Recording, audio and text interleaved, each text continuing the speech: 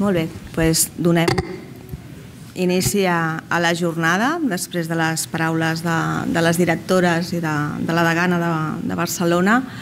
Com hem dit al començament, volíem fer una aproximació teòrica i de contextualització de què és la justícia restaurativa i cap a on volem anar, quina resposta ha de donar aquesta justícia restaurativa en el marc de, de la justícia tradicional, i per això contem avui amb, amb el doctor Tamarit, que és catedràtic de Dret Penal de la Universitat de Lleida des del 1999 i de la Universitat Oberta de Catalunya des del 2010, molt conegut per tots nosaltres.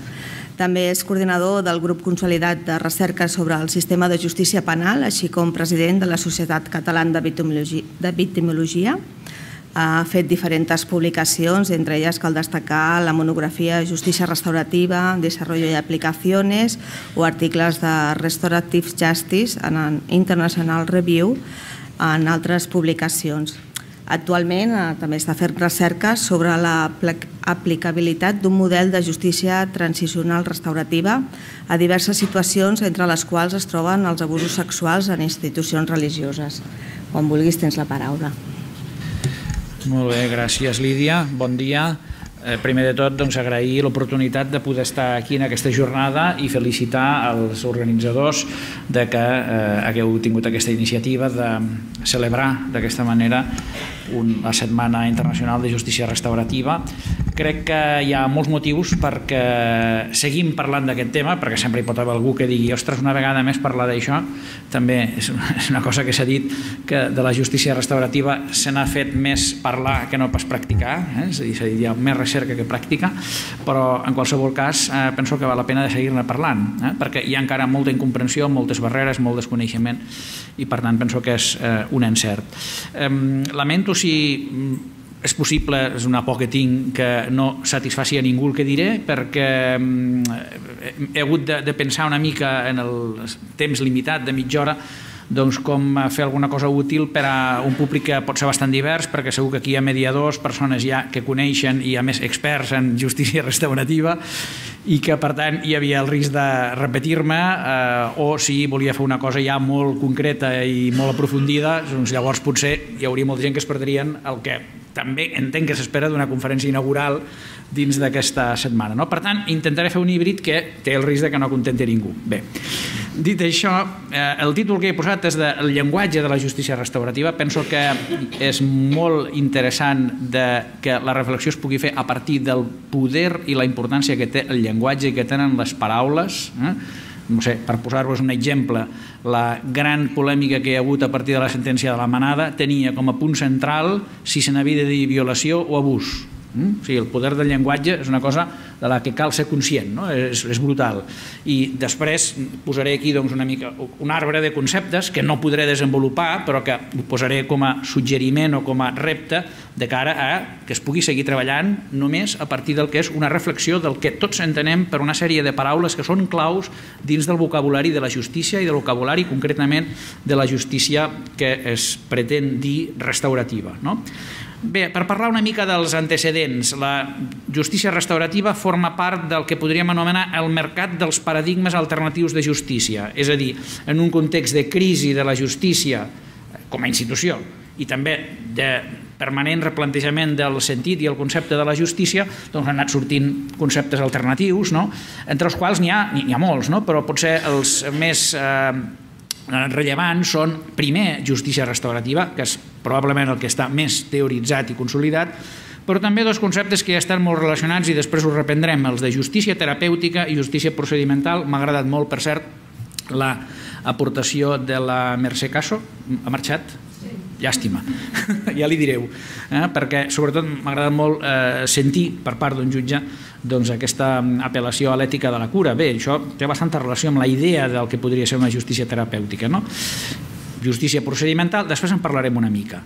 Eh, la justícia restaurativa com a concepte comença a generalitzar-se en el món a partir dels anys 80, però podríem dir més aviat ja 90 i començaments d'aquest segle, a partir d'una sèrie d'antecedents. Els antecedents, podríem dir, basats en experiències pràctiques, eren eh, pràctiques que no s'anomenaven en aquell moment justícia restaurativa, i així, per exemple, el programa de Victim Offender Reconciliation o Mediation, després es va anomenar així, ha sorgit a Nord-Amèrica, però després hi va haver una confluència entre aquestes pràctiques i les que van ser a Europa també doncs, com a primers programes de, de mediació, amb una important eh, presència com a impuls del, del programa desenvolupat a, a Noruega, però també en altres països del, del nord d'Europa, va haver una confluència amb el que era el contacte amb pràctiques de justícia comunitària pròpies de tribus o comunitats aborígenes, a Nova Zelanda, a, a Austràlia, en aquests dos països doncs, va ser on es van començar a desenvolupar pràctiques com el conferencing,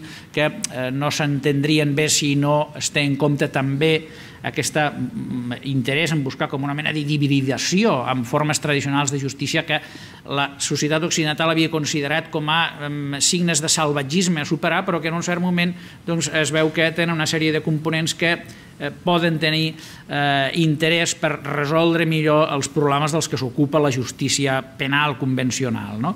Però també a, a, a Nord-Amèrica i concretament a, al Canadà doncs, algunes de les pràctiques que després han estat anomenades restauratives doncs, tenen a veure amb eh, tradicions no? d'alguns pobles eh, inuits, eh, les cercles, etc. Bé, aquest seria una mica doncs, els antecedents de la, de la del moviment internacional a favor de la justícia restaurativa, però també hi ha unes bases teòriques que hi són des del, des del bon començament no? i en voldria destacar eh, sobretot dues, eh, entre d'altres que, que, que podríem dir, no? però per fer una síntesi, doncs la eh, que va fer Nils Christie sobre la idea d'expropiació del conflicte dins de la seva crítica al sistema de justícia penal, que es pot més o menys compartir en tot o, o les conseqüències a les que ell arriba, doncs hi ha un punt molt important i és el de denunciar com els ciutadans s'havien vist expropiats de la titularitat eh, de, a, la, a la resolució dels seus problemes i dels seus conflictes que havien quedat en mans de servidors de l'Estat però no només això, sinó també en mans de professions jurídiques eh, que d'alguna manera havien eh, impedit que els ciutadans poguessin ser protagonistes de la resolució dels seus problemes. Eh, el seu cèlebre article de Conflicts as Property. I després també les aportacions de Braithwaite, australià, sobre el concepte molt polèmic, difícil d'entendre, que requeriria un major desenvolupament, no? del reintegrative shaming, és a dir, el sistema de justícia penal, el sistema convencional de justícia, el que ha fet doncs, és eh, generar dinàmiques d'estigmatització, mentre ell eh, havia descobert doncs, altres formes de respondre a la, al problema del delicte en el món oriental, en el món de sistemes de justícia comunitària, en el que s'utilitzava l'anomenat reintegrative shaming, és a dir, una mena d'avergonyiment reintegratiu, no? és a dir, que l'objectiu, el focus estava posat en la cerca de la reintegració de, de l'ofensor, eh, bé, el concepte aquest d'avergonyir en el sentit de reprochar el, el comportament que es volia eh, que es volia evitar o prevenir, no? doncs és un concepte certament doncs, que es pot eh, considerar polèmic o discutible, però el que venia a destacar és que el focus d'aquest procés d'avergonyament no estava tant en la persona o en l'estigmatització de la persona, sinó en el fet delictiu que es volia evitar que es tornés a produir. No? Bé. Però ja en el que és la conceptualització explícita de la idea de la justícia restaurativa, doncs, sens dubte, el que es considera com a pioner és Howard Ser, que va eh, establir una sèrie de mm, dicotomies entre el que era la justícia eh, que ell anomenava retributiva, la justícia tradicional, que altres havien anomenat punitiva, i la justícia restaurativa. No? Després veurem una mica més en què consisteix aquesta dicotomia. Bé, aconsello a aquells que vulguin endinsar-se més en la justícia restaurativa, mm, començant pel final, evidentment, hi ha la declaració de 2018 mm, del Consell d'Europa, però com a antecedents també és important tenir en compte un eh, manual de justícia restaurativa molt eh, important, molt, molt voluminós, elaborat en el si de l'ONU l'any 2006, o els principis bàsics que van ser recollits en un document del Consell Econòmic eh, i Social de, de l'any 2002, eh? és un, un òrgan de les Nacions Unides, que evidentment això no és una, una norma internacional vinculant, és un instrument, diríem, de soft law, però que és un referent que es té en compte en l'actualitat. No? Bé, eh, quins són els atributs tradicionals de la justícia? Doncs a vegades a mi m'ha agradat fer alguna dinàmica basant-nos en aquestes imatges. No? La justícia, eh, aquesta Lady Justice, no? és a dir, eh, que ve de la deessa grega, doncs té sobretot tres atributs, que són els ulls venats, la balança i l'espasa. Bé, aquí podríem preguntar quin d'ells és el més important. Doncs bé, un de molt important és l'espasa, no hi ha dubte. La justícia és la, eh, sobretot doncs, una manifestació del qui té el poder de fer-la executar. No? I per tant, doncs, en nom de, sota el nom de la justícia hi ha un prius, que és que hi ha algú que té el poder d'imposar per la força aquelles decisions que s'espera que siguin pel bé de la comunitat, eh? però que poden ser-ho o no. Eh? Bé, eh, doncs la justícia restaurativa és eh, l'intent no, de, mm, sense renunciar al concepte de justícia, aquest és un punt molt important que després hi tornarem, doncs, fer una justícia que sigui d'una banda evident, per tant això tindria a veure amb la idea aquesta de la, de la cura, eh? no es pot fer cura doncs, amb els ulls secs, no?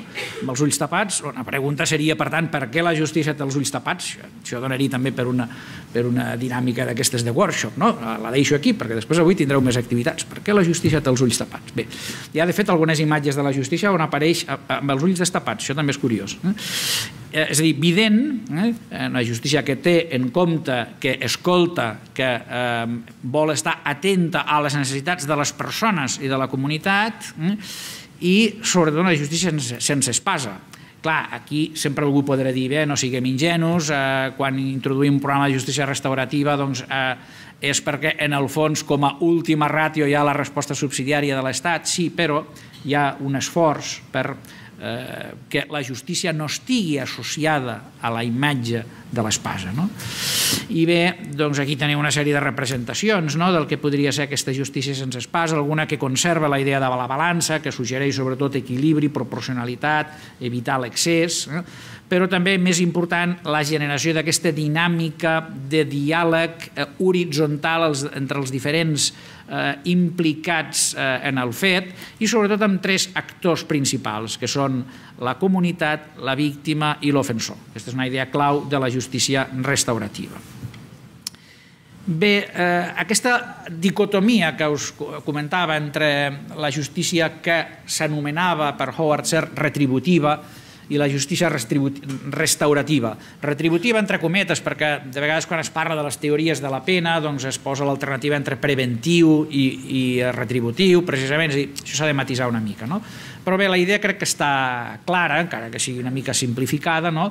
segons la justícia diguem-ne convencional o retributiva, el delicte és sobretot entès una cosa que consisteix en una infracció de la llei, mentre que en d'acord amb el paradigma o la comprensió restaurativa del problema, el delicte és sobretot un dany contra les persones i, contra la, i, i per a la comunitat. La eh, infracció genera culpabilitat, és un concepte clau en la justícia mm, convencional, és a més una garantia, eh? no cal no perdre-ho de vista també, eh? Mentre que en la justícia restaurativa el focus no està en la culpabilitat sinó en els lligams, per tant en el trencament d'expectatives, en el trencament de relacions humanes i en la necessitat de regenerar aquestes eh, relacions humanes eh, que a partir doncs, de que les persones doncs, tenen una responsabilitat no? Pel, pels seus actes. Eh? La comunitat, en la justícia tradicional, està sublimada en l'Estat, que és qui és titular del procés punitiu, però en qualsevol, eh, en qualsevol procés de sublimació hi ha una pèrdua, hi ha una, hi ha una manipulació, no? hi ha un, un canvi important. Aquest és el problema i per això la justícia restaurativa el que aspira és al protagonisme directe de la comunitat i dels protagonistes en la resolució del problema la resposta punitiva està centrada en el fet i en el càstig de l'infractor. I a més que estigui centrada en el fet també és una garantia. Eh? És a dir, no hem de veure això com una crítica a tot. Eh? És a dir, estem intentant aquí comprendre quina és la lògica de cada enfocament. No? Eh, en canvi, segons la justícia restaurativa, eh, sobre el que eh, és la clau de la resposta al problema és que aquest, el delicte, és una oportunitat per a la recomposició i per a la transformació de les relacions. Eh? I, per tant, no centrada la resposta en el símptoma, en el delicte que és en pot ser considerat com un símptoma, sinó en el problema, en la causa del problema. És com si un metge doncs, se centrés només a, a l'hora d'abordar un malalt doncs, en un símptoma que ha tingut i no intentés veure quin és el diagnòstic, quin és el problema que hi ha al darrere i com atacar-lo. No? La neutralització de la víctima és inherent a la justícia penal, contra això la inclusió de la víctima. Atenció, però, no hem d'oblidar que els primers programes que després es van anomenar restauratius, no estaven centrats sobretot en la víctima, sinó en gran part en l'infractor. Eh? És dir, tampoc és una cosa que sigui que, que va de suar, no? el que la víctima està allí. Eh? La víctima és allí perquè volem que hi sigui, eh? perquè hem de fer un esforç que hi sigui, eh? perquè hi sigui. Això és important també tenir-ho eh, present. Bé, en la justícia retributiva, en sentit estricte, no hi hauria rehabilitació, però està clar que els sistemes penals en l'actualitat han evolucionat, menys en el nostre context, eh, cap a introduir l'element de la rehabilitació, però la rehabilitació és entesa normalment com un procés, diguem-ne, paternalista, perquè entra dins de la lògica de la llei, no? mentre que en la justícia restaurativa la rehabilitació és també un punt important a tenir en compte, és igualment important, però és una rehabilitació entesa en un sentit de responsabilització, és a dir, no se li està enviant a l'infractor el missatge de que bé, t'ajudarem perquè a partir d'ara doncs, eh, puguis eh, fer una vida social plena sense generar problemes a la societat, sinó que se li està dient sí, però tu responsabilitza't d'allò que has fet i per tant eh, sobre això construirem una via de, de que tu puguis responsabilitzar-te en un futur del que són doncs, els, teus, els teus actes davant de la societat. No?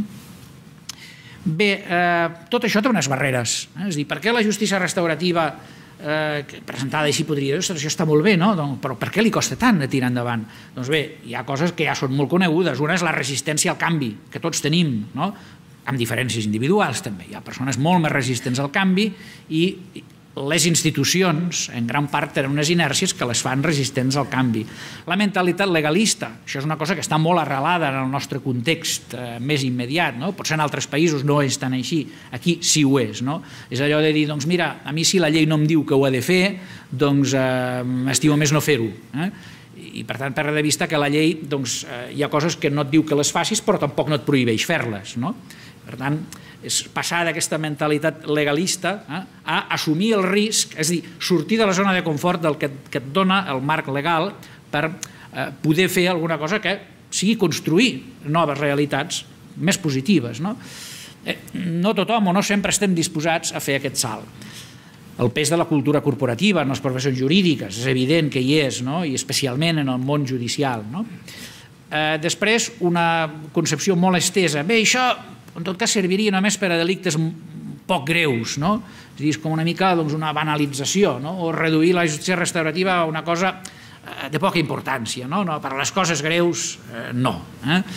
Mm, bé, la recerca, com veurem, mostra precisament fins i tot el contrari, eh? de que els processos restauratius de vegades són especialment adequats per a delictes que tenen un cert, una certa gravetat pel fet de que tenen un impacte eh, important per a les víctimes sobre el qual val la pena de treballar.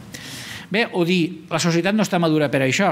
Eh? És dir, bé, nosaltres potser els professionals ho estaríem, però la societat no està. Qui ha dit que la societat no està madura? No? Això és una preconcepció. La por a la pèrdua del control. Eh? No és només les inèrcies, no és només el legalisme, sinó per utilitzar aquesta paraula a vegades tan ja eh, de, la que s'han abusat molt potser, no? que és l'empoderament, no? que també entra molt en el vocabulari restauratiu. Doncs bé, la por al desempoderament, no? és a dir, a perdre el poder, que des de eh, determinades posicions professionals es té. No?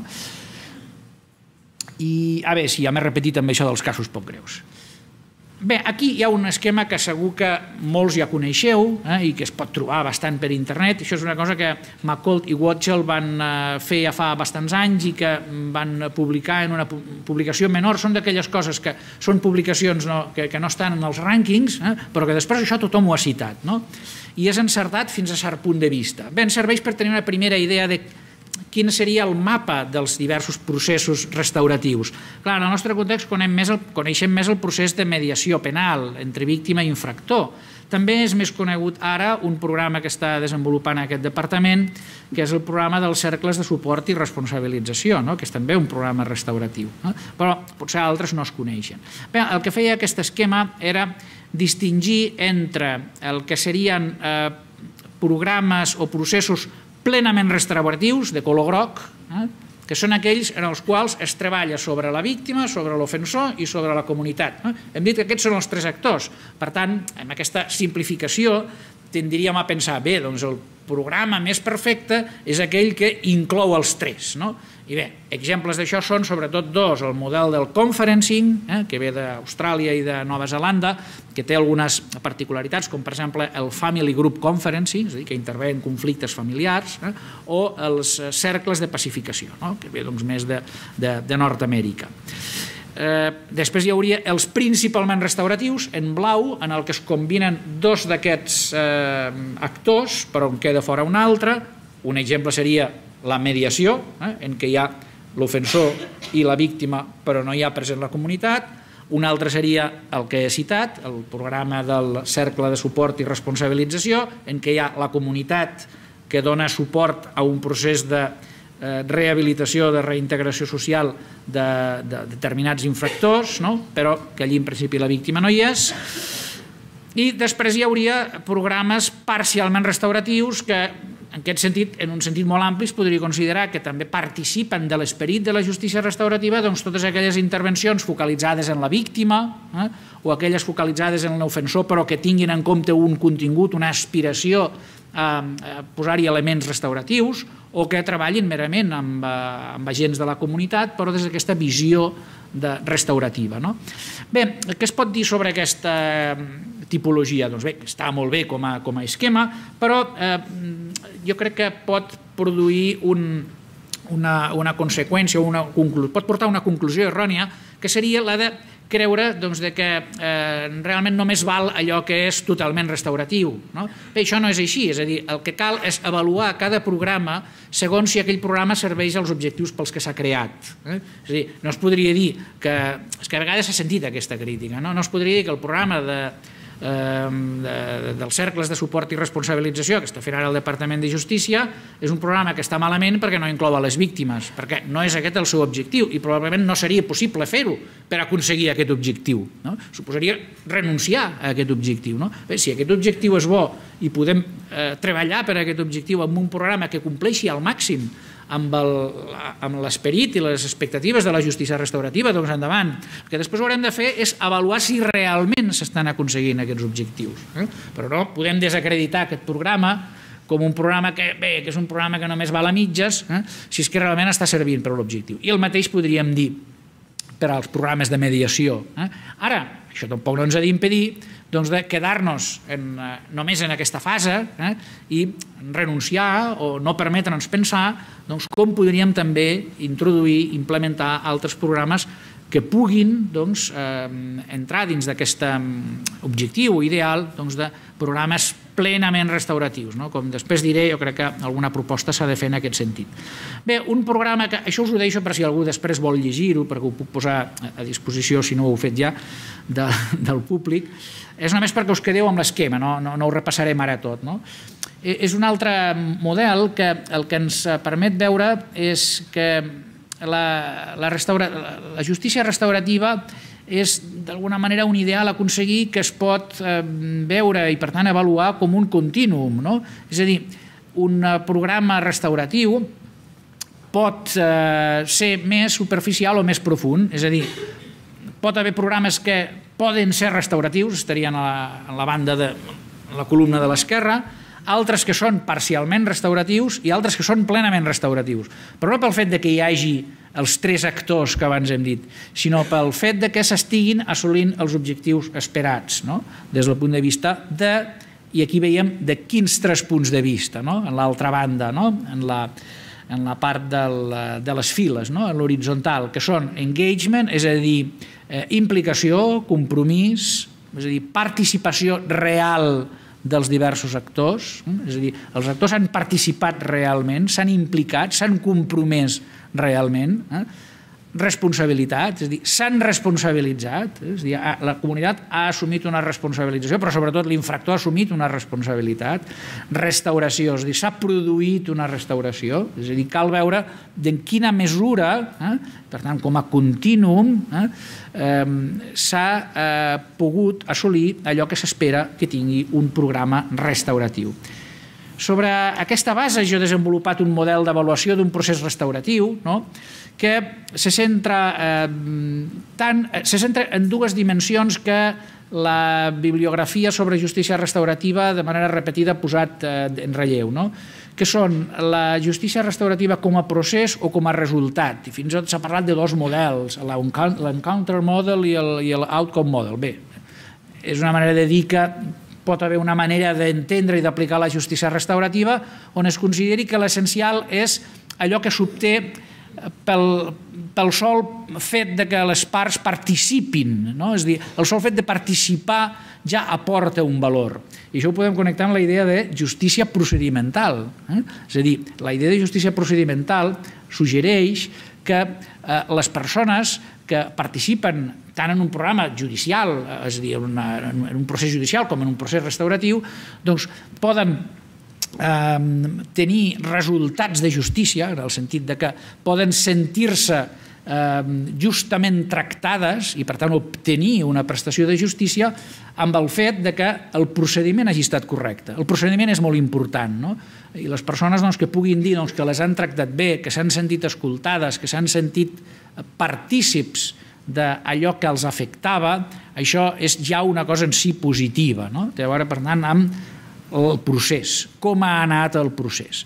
Però després el resultat, eh? és a dir, el, aquest procés ha generat finalment resultats que es poden considerar eh, productius, que es poden resultar, que, que, que es poden veure doncs, com a aportacions positives per a la víctima, per a l'ofensor, per a la comunitat, que han guanyat finalment cadascun d'aquests actors amb el fet d'haver participat en aquest procés. Bé, doncs aquí hi ha tota una sèrie de preguntes sobre de quina manera la víctima s'ha sentit escoltada, si s'ha sentit jutjada, culpabilitzada, utilitzada, si l'ofensor ha expressat realment una disculpa o si s'ha si responsabilitzat del fet i ha participat directament, mm, si la comunitat s'ha implicat en el diàleg, i també després pel que fa al resultat, no? en quina manera s'han complert els compromisos, eh, hi ha indicadors de canvi de conducta, s'ha obtingut un reconeixement per part de la víctima, eh, ha millorat el seu benestar, ha obtingut prestacions... Bé, estic ara resumint molt, eh? tot això serien eh, i així ho faig pel temps limitat que tinc, doncs com propostes que poden donar lloc a, fins i tot, doncs, eh, eh, treballs a través d'un workshop o d'algun tipus de, de dinàmica en què es pugui aprofundir d'una manera participativa en aquests elements. No? Per posar molt ràpidament el que és el resultat de les avaluacions que s'han fet fins ara dels programes de justícia restaurativa, s'han fet dos tipus d'avaluacions, des de la perspectiva de l'infractor i des de la perspectiva de les víctimes, és a dir, de quina manera els programes han satisfet les expectatives. Respecte a l'ofensor, són habituals els estudis sobre reincidència. Doncs bé, en general hi ha estudis que posen eh, sobre la taula que els programes restauratius tenen, adquireixen bons eh, resultats pel que fa a que els que han participat en aquests programes després reincideixen menys que els que no hi han participat. Bé, això seria molt llarg, que es podria parlar de que hi ha un esbiaix, perquè hi ha una selecció inicial d'aquells casos que tenen millor pronòstic, i per tant això té un valor relatiu, però en tot cas aquests, eh, aquests resultats hi són de manera repetida en les avaluacions sobre la reincidència dels infractors que han participat en aquests programes, siguin justícia juvenil, siguin adults. Des de la perspectiva de les víctimes hi ha com tres nivells d'avaluació. Un primer seria els estudis de satisfacció. Són els estudis més superficials. En el fons no són gaire diferents al que mm, ens trobem quan anem a un hotel, per posar un exemple, i després hi ha una enquesta que diu li ha agradat l'habitació, li ha agradat el menjador, li ha agradat la neteja, li ha agradat el tracte... Bé, eh? seria això. Sí, eh, certament, la major part d'avaluacions que s'han fet des d'aquesta perspectiva tenen resultats positius i en general les víctimes se senten satisfetes de com ha anat el procés. Però pot ser que se sentin satisfetes perquè el, el mediador era molt simpàtic, però potser no li han resolt res. No? Per això interessa un segon nivell d'avaluació. Això ho vam fer aquí amb el programa de mediació penal d'adults eh, fa uns anys, està publicat l'any 2016, eh? I, i bé, doncs ja ho vam presentar en el seu dia, està, el resultat es pot trobar també en el document complet a la, a la pàgina web del centre, em sembla, i bé, allí vam veure, per exemple, que avaluant el que era el nivell d'evolució de l'estrès emocional de les víctimes, doncs vam trobar que l'evolució havia estat positiva, és a dir, les víctimes estaven en general millor després, manifestaven estar millor després d'haver passat pel procés de mediació que immediatament després del delicte. El procés havia servit. Bé, això sembla que hauria de ser així, Bé, però podria no ser-ho. De fet, vam fer fa més anys encara una avaluació de què passava en el sistema de justícia i ens havíem trobat resultats més aviat en el sentit contrari, no? que moltes víctimes se sentien pitjor després d'haver passat pel, pel sistema de justícia. No? I això tampoc no vol dir que tot estigui malament en el sistema de justícia, eh? que també això, no vull donar aquesta imatge, però això seria per un altre dia. Eh? Bé, finalment també es pot avaluar des del punt de vista que seria una avaluació psicològica del, de, de l'evolució del trastorn d'estrès posttraumàtic, no? doncs com ha evolucionat psicològicament la, la víctima. Bé, eh, el tema del llenguatge, doncs això és una proposta de paraules. Eh? Sobre cadascuna d'aquestes paraules es pot parlar moltíssim. Posaré un exemple. Eh, conflicte. Darrere de cada delicte hi ha un conflicte? Jo no ho crec. A vegades aquesta és una exageració del vocabulari de la justícia restaurativa. Eh? Per exemple, al Nils Christie no li agradava gens la idea de justícia, en canvi, tot ho centrava en la idea de conflicte. Vaig tenir un debat amb ell, perquè jo més aviat sentia, sostenia el contrari. Eh?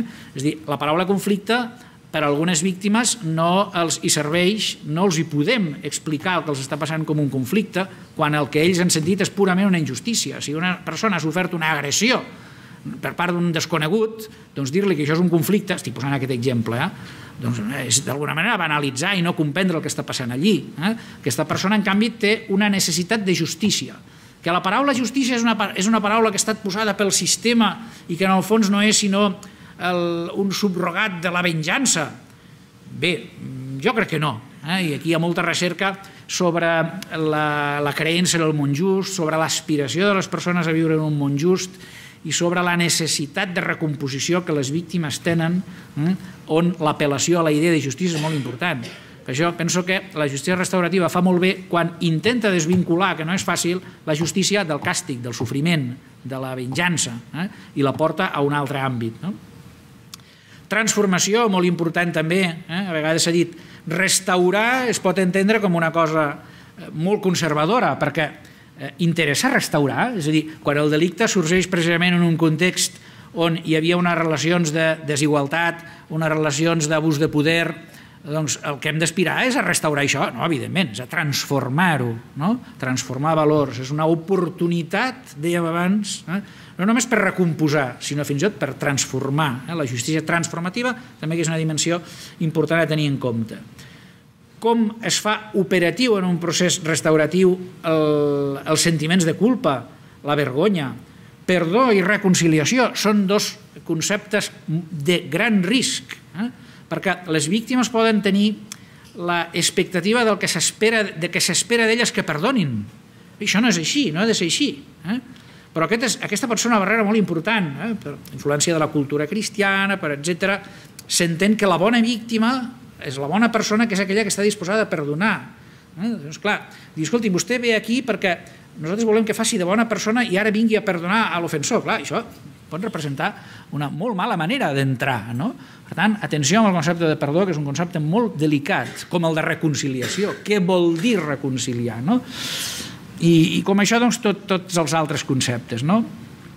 no tinc temps de parlar de l'estatut jurídic de la víctima, entenc que ja ho coneixeu, només diré que l'Estatut jurídic reconeix per primera vegada la paraula justícia restaurativa, però aquí es queda. Eh? Penso que això permet fer, però no és suficient. Eh? Està clar que és necessari que a través d'una reforma de la llei processal es prevegui quins són, primer, els, eh, els mecanismes de derivació. Eh? La derivació actualment és una cosa que cada jutge diu doncs mira, jo derivo aquests perquè a mi em semblen que aquests són els més adequats. Jo no en derivo cap perquè jo això, la llei no m'ho diu i no estic obligat a fer-ho. Altres diuen, jo ho derivo tot. Eh? La llei alguna cosa hauria de dir sobre, un, derivació, dos, sobre els efectes intraprocessals. Perquè el que no ha de fer la llei, aquest seria un gran error, és regular el funcionament de la justícia restaurativa. No, és un procediment parajudicial, extrajudicial, però sí els efectes. Per tant, el com s'entra del procés a la justícia restaurativa i com se'n surt. Mm? Per tant, quins efectes té. Mm? De fet, només és això el que volia dir. I com a potencialitat, si amb això ja acabo, eh? l'última slide, me passo un minut, per tant, Bé, la justícia restaurativa efectivament està en disposició d'aportar justícia als diferents actors en termes tant de justícia terapèutica com procedimental. Aquesta crec que és una conclusió que, que defenso, no perquè hi cregui, no és una creència, sinó perquè hi ha recerca ja que, que ho avala. Eh, hem de sortir dels marcs mentals eh, i, per tant, fer que es pugui fer possible que es pugui transcendir de les limitacions dels, del marc legal actual. Eh? En la pràctica, no només en la reforma legislativa, pensant que els límits els han de posar les parts, els límits no els hi hem de posar a les parts a priori. Això que aquí és un tema també important a tenir en compte. Un gran repte és tot allò que té a veure amb la victimització intrafamiliar. Tenim una gran barrera, un gran límit que el marca la llei de violència de gènere, però atenció, la llei de violència de gènere pot ser interpretada, no? I pot ser interpretada de manera que permeti intervencions a través de programes restauratius per a casos de violència no de gènere, eh? és a dir, jo crec que aquí un tema conceptual clau és que no tota violència en l'àmbit de les relacions de parella és violència de gènere, i parlaríem ja jurídicament del que ha dit el Tribunal Suprem, etc. Hi ha casos de violència mútua, de violència sistèmica, hi ha casos de violència domèstica o familiar que afecten no només, i fins i tot no principalment, els dos, els dos membres de la parella, i per tant aquí està clar que un programa restauratiu específic que miri més al model de conferencing, però que no tenim per què agafar aquesta paraula ni agafar el model estrictament, podem desenvolupar altres models, penso que això és un repte a plantejar-nos. Eh? I bé, acabo aquí perquè en algun lloc hem d'acabar. Eh? Gràcies.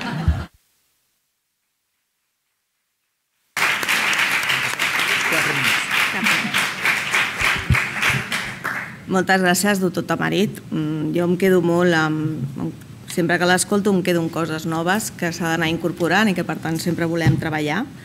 Em quedo amb la definició del llenguatge, sí que a vegades diem paraules i que ja sabem quin context tenen, però potser ens caldria anar més enllà i poder definir millor què vol dir cada paraula i per què la diem. És important que avaluem, i això sempre ha estat un, un, un defecte que tenim nosaltres, que anem fent, anem fent, anem fent, però no ens parem, perdó, i no ens parem a, avaluar i sobretot amb què volem, no? Si ens centrem només en el procediment o ens centrem en el resultat o definim una mica quins objectius que volem o què oferim. I també me quedo amb les avantatges i amb les potencialitats, que per això estem aquí, per això hi creiem i per això hi impulsem.